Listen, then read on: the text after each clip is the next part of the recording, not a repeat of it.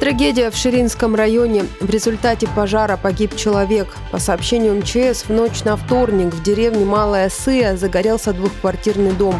Первыми к месту вызова прибыли добровольные пожарные села Ефремкино. Произошло обрушение крыши. Внутри огнеборцы обнаружили погибшего 60-летнего мужчину. Предварительная причина случившегося – замыкание электропроводки.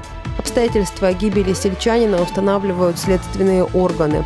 А в Абазе пожарные спасли человека из горящего дома. Там из-за неосторожного обращения с огнем также вспыхнул деревянный многоквартирный дом. Сильный ветер осложнял тушение пожара. Спасатели эвакуировали шестерых жильцов. Еще один человек не мог выбраться, но сотрудники МЧС сумели его спасти. Хакасии сотрудники ДПС устроили погоню за пьяным водителем – чтобы остановить лихача, полицейским даже пришлось применить табельное оружие.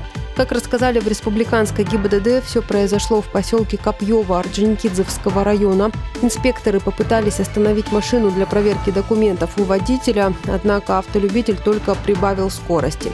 Началась погоня. Удирая от патруля, водитель грубо нарушал правила, а проехав поселок, он направился в сторону города Ужур Красноярского края. Тогда инспекторы ДПС приняли решение стрелять по колесам.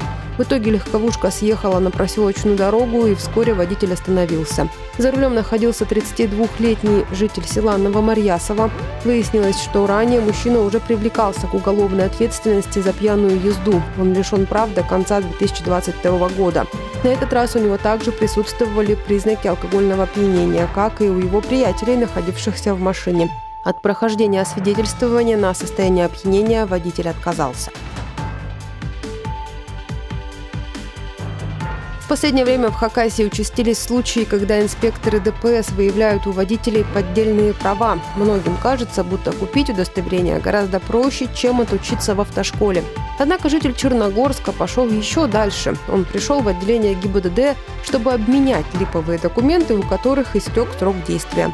Мужчина спокойно занял место в живой очереди, видимо, в надежде, что полицейские ничего не обнаружат. Однако инспекторы заметили несоответствие шрифтов бланка и обрезки фотографии. Проверка по базе данных подтвердила опасения. Предъявленное водительское удостоверение было выдано ГИБДД Республики Ингушетия в 2007 году. На самом деле указанная серия документов в Ингушетии не значится. Материалы дела передали в отдел дознания МВД России по Черногорску.